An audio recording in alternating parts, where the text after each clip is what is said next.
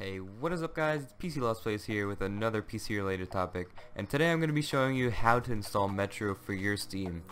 So Steam skins are a very good way of organizing your Steam and making it more pleasing to the eye.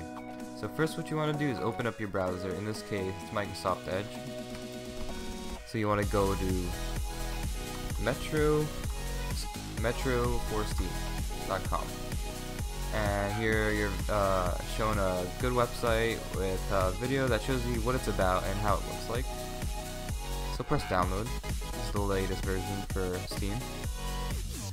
Now once it's done, extract it to your desktop and put it into a new folder. So open that and what you want to do is double click this install this font folder and double click this TrueType font file and install it by clicking install. If it's already there, just replace it and click yes. Now once it's done, you want to close out of that and go back. And now we want to open our Steam folder. So go to C drive and depending on if you have 32-bit Windows or 64-bit Windows, in this case I have 64-bit, it will be times 86 program files.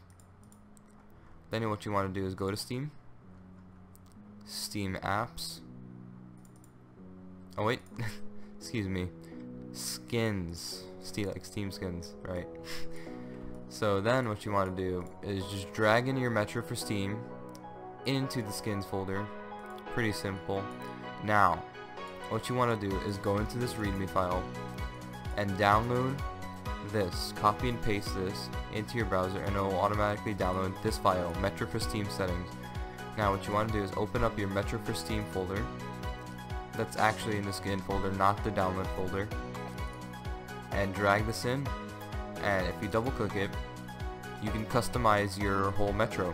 So for me, I'll do pink as my accent color.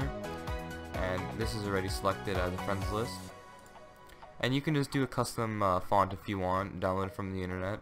I'll have a description uh, link in the description below on how to install custom fonts for your computer.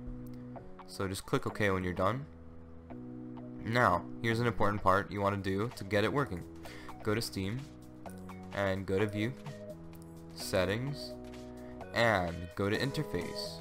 So now you'll see select the skin you wish Steam to use and now you'll see Metro for Steam or if you download any other ones it will show you. I have one in the description below which is a very nice one. It's called um, Air for Steam and it's very organized and looks very pleasing to the eye too. So click Metro for Steam and click OK. Now what you want to do is restart Steam. Let that restart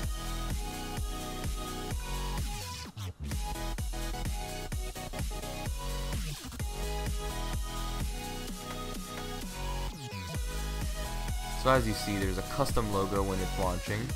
It looks very nice. So now, you installed Metro. So it looks very nice. It's very organized. You have your store, library, community, and Sugoi on my profile. So here it's more organized. Here's all the list of the options and settings. It's more organized, listed by order by downloads and settings. And up here you have your profile, your um, friends, your downloads, and here's my accent color that I picked. And these are your items. So as you go in your library, you can highlight things and you see that it's pink, that's the accent color that you picked. So yeah guys, that's pretty much it. If you want to see more Steam skins, go to DeviantArt Steam skins. Just look that up on Google. And many people are, are making some very good Steam skins. And I recommend Air, which I, I will leave in the description. This is it. And there's also a different Metro skin, but it's beta. So yeah guys, thank you for watching and see you in the next PC video.